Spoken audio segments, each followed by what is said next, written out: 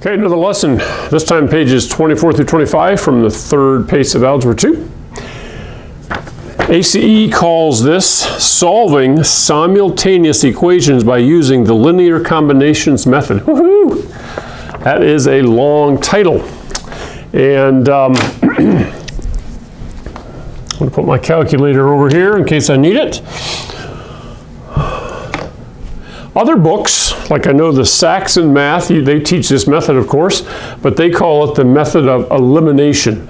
Basically, it's a way of putting two equations together and trying to find the x and the y coordinates of where those two lines would intersect each other.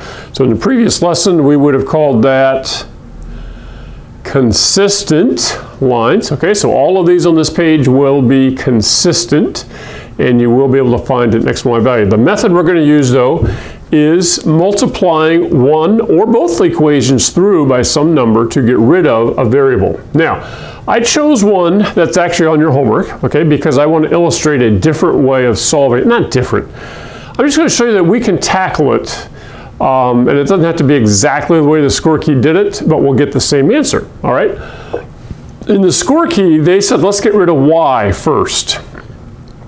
And that kind of makes sense because this one's positive, this one's negative.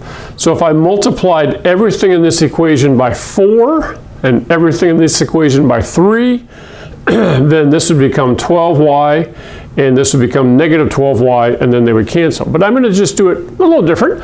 I'm going to take this equation, I'm going to get rid of x. So I'm going to take this equation and multiply everything by 3 and in this equation everything by negative 5.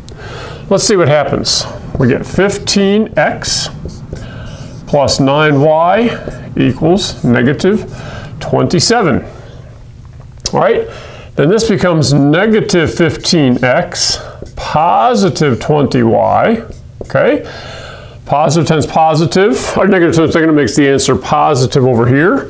And this is going to be 85. Okay?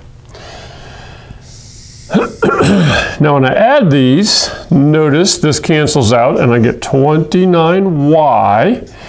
And this is why I got my calculator because it's late in the afternoon and my brain is fried. So we're going to add the negative 27 plus the 85 and we get 58.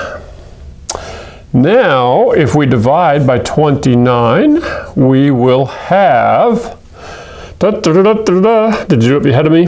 Two. All right. I'm not going to finish this problem for you, okay? Because you can now take this answer and plug it into either of the equations. It doesn't matter which one. Plug it, make sure you plug it in place of y though. And then you can solve for x. All right, if you look at the score key and look at the way that they solved it, you'll see that they did the multiplying through by 4 and 3, cancel the y first, solve for x. But then you would take the x value, plug it into either equation in place of x, solve for y. So your final answer is going to be something for x, which you have to find out what that is. The 2 is the y value, so it's an ordered pair, x and y. All right, when we turn the page for the next lesson, we're going to talk about a different method, substitution, for doing the same kind of thing and really solving the same types of equations for x and y.